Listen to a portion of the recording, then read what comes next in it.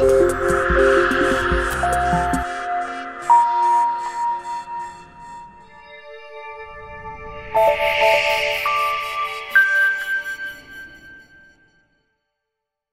говорить о тарифах на коммунальные услуги, то опять же общеизвестный факт, последние несколько лет постоянно тарифы растут.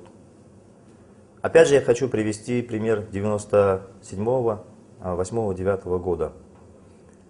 Тогда я как раз был инициатором проведения рыночных реформ в электроэнергетике.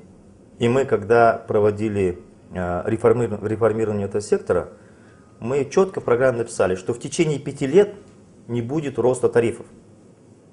Это так и было. Это я когда писал, конечно, я понимал, что а, слишком высокая зависимость от других а, членов правительства, потому что я курировал только электроэнергетический сектор, нефтегазовый там, и, скажем так, промышленность, да.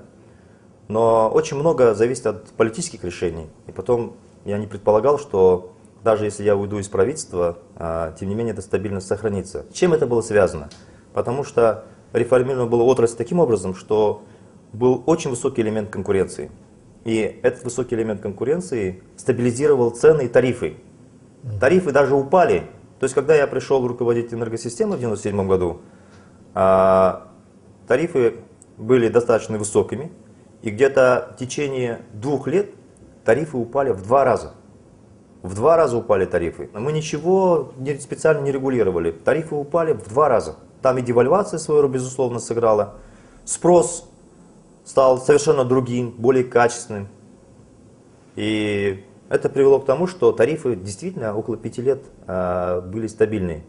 Начиная где-то приблизительно с 2003, 2004, 2005 годов, они постоянно растут.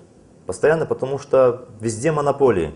Потому что фактически электростанции а, продали вроде рыночным структурам типа АЭС в экипастузе, но в итоге все, вся электроэнергетическая отрасль тоже ушла под контроль в основном семьи Назарбаева.